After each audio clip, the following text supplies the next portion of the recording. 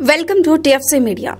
గత కొంతకాలంగా లాక్డౌన్ నడుస్తున్న నేపథ్యంలో అన్ని రంగాలతో పాటు చిత్ర పరిశ్రమ సైతం పూర్తిగా మూతబడిన సంగతి తెలిసిందే.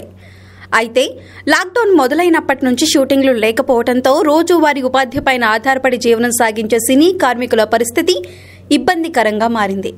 అంతేకాదు సినిమా షూటింగ్లు ఆగిపోవడం పూర్తి చేసిన సినిమాలు రిలీజ్ కాకపోవడంతో ఆర్థికంగా చిత్ర పరిశ్రమ ఎంతగానో దెబ్బతింది. కాగా మరింత కాలం ఇలాగే కొనసాగితే పరిస్థితి చేదాటిపోతుందనే ఉద్దేశంతో సినీ పెద్దలు సమావేశమై లాక్డౌన్ సడలింపుల్లో భాగంగా షూటింగ్లకు అనుమతి ఇవ్వాల్సిందిగా తెలుగు రాష్ట్రాల ముఖ్యమంత్రులను కోరారు.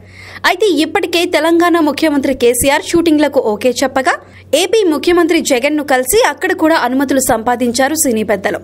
కాగా మెగాస్టార్ చిరంజీవి సారథ్యంలో ఏపీ ముఖ్యమంత్రిని కలిసి అనుమతులు సంపాదించిన అనంతరం చిరంజీవిపై మండిపడ్డారు బీజేపీ నాయకురాలు సాతినేని యామిని.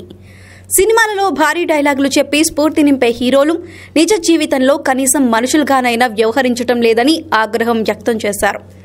చిరంజీవి రాజకీయంగానూ నటుడిగానూ మంచి పేరున్న వారిని పేర్కొన్న Yamini Khaidi number one fifty cinema తీసిన చిరంజీవి ఆ సినిమాలో కార్పొరేట్ వ్యవస్థపై పోరాటం చేసి రైతుల కోసం నిలబడ్డారని పేర్కొన్నారు.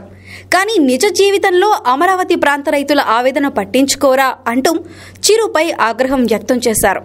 అంతేకాదు తాము ఇరు రాష్ట్రాల్లో ఏ ఒక్కరికి వ్యతిరేకంగా మాట్లాడినా తమ సినిమాలు ఆగిపోతాయనే భయంతో ప్రజల ఇబ్బందులపై మాట్లాడరని మండిపడ్డారు యామిని.